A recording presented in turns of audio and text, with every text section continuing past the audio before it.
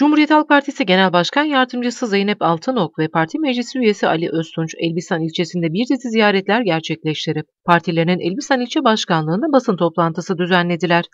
Genel Başkan Yardımcısı Zeynep Altıok, 15 Temmuz darbe girişiminin ardından mağduriyetler yaratıldığını öne sürerek mağduriyetlerin adil yargı süreci ile ortadan kaldırılması için çabaladıklarını söyledi. Darbe girişimi sonrasında önümüze getirilen mağduriyetlerin tamamına hukuk çerçevesinde, evrensel insan hakları kriterleri çerçevesinde sahip çıkan mağduriyetsiz, bağımsız yargıyla, adil yargı süreçleriyle e, barışın e, test edildiği bir e, sürece evriltmek için çabalıyoruz.